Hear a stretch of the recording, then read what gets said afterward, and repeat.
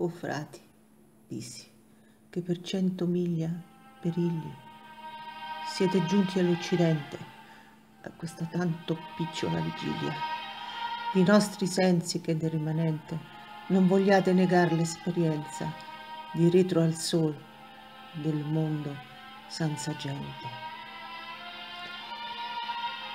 Considerate la vostra semenza, fatti non foste a viver come bruti, ma per seguir virtute e conoscenza.